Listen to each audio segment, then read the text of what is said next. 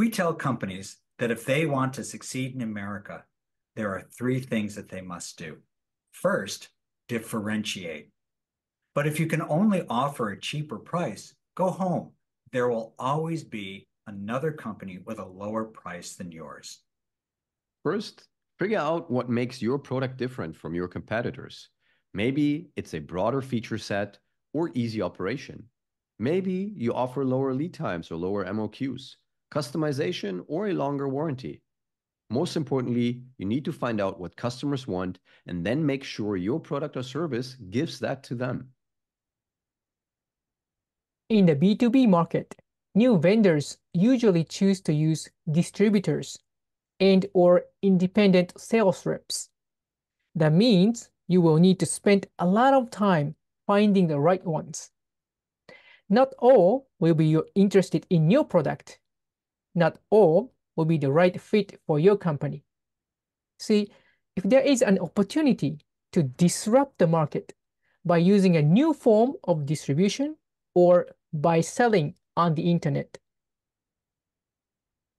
Next, you want to price your product correctly. Understand that the value of your product isn't just its sales price. Maybe you can reduce the buyer's total cost of ownership by reducing their manufacturing steps or by being more efficient? If so, factor that into the value of your product when you price it.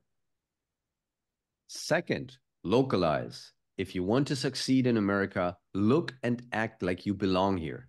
You need to understand that what attracts American customers is different than what attracts domestic customers.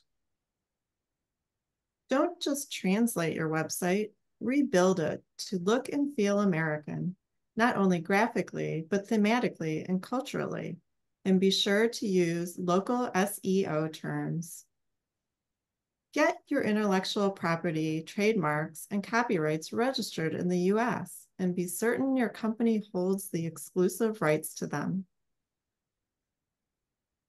Third, get smart. Do your homework. Do not guess or rely on second-hand data.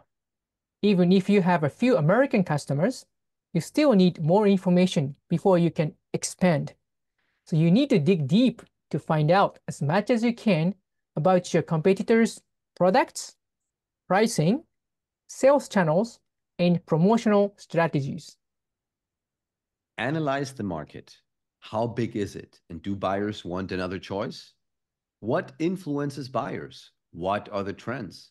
What holes are there that need to be or can be filled? Does your product have the necessary certifications and approvals? America is a highly competitive, crowded market, and you need to put your best foot forward.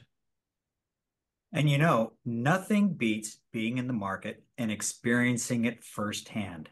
If you haven't already, come for a visit, attend a trade show, see a distributor, talk to a few potential customers. If you can't do any of that right away, schedule a phone call with us by using the QR code on the left-hand side of your screen, and let's see if we can help.